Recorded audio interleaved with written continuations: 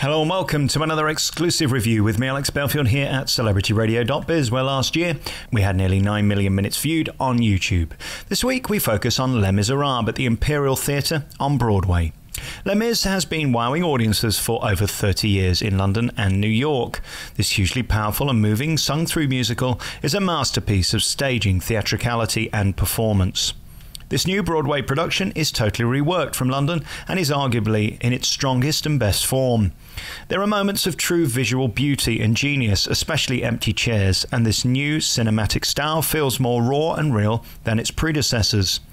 If you close your eyes, the show sounds almost identical to London. However, the new visual is so seamlessly devised, it feels more epic, immersive, and therefore compelling.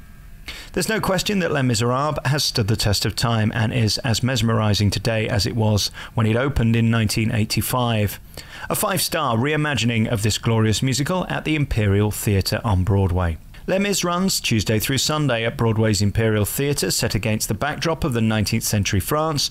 Les Mis is an unforgettable story of heartbreak, passion, and the resilience of the human spirit that has become one of the most celebrated musicals in theatrical history. This is not Mamma Mia, you must invest your time and heart in this show.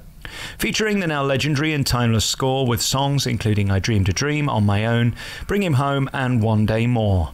There are some remarkable performances on Broadway, although the star Alfie Boe was out for my performance. In fact, with only 12 days on stage in October, this world class tenor has been out more than he's been in since joining the show. Thankfully, though, nothing was lost by Boe's absence as J. Michael Finley was masterful in his delivery of Jean Valjean, a stellar world class performance, as good as anyone I've ever seen in the show or in this role. The full cast of Les Miserables has standout stars. Earl Carpenter, for example, brings a new cold menace to Javert, beautifully delivered. Most surprising was Gavin Lee, who brought the clown like brilliance to Thénardier. This was the most hysterical and compelling I've ever seen in the role. Certainly a change from Bert in Mary Poppins. Kudos also to Montego Glover as the glorious Fantine, Brennyn Lark as the delightful Eponine, and Chris McCarrell, who is utterly charming as Marius, and also Wallace Smith, who was perfectly cast in the show.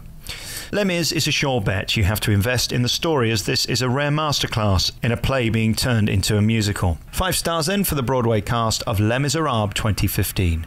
You've been listening to another review by me, Alex Belfield, here at CelebrityRadio.biz, where last year we had over 8.5 million minutes viewed on YouTube. You can check out all of our hundreds of interviews and reviews on Broadway in the West End and around the world at www.celebrityradio.biz. Ta-da!